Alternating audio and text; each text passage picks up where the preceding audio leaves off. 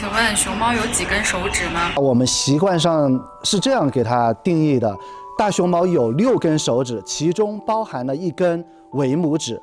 这个尾拇指，嗯，它并不是一个真正的手指，它是由桡骨、侧子骨，然后进化而来的。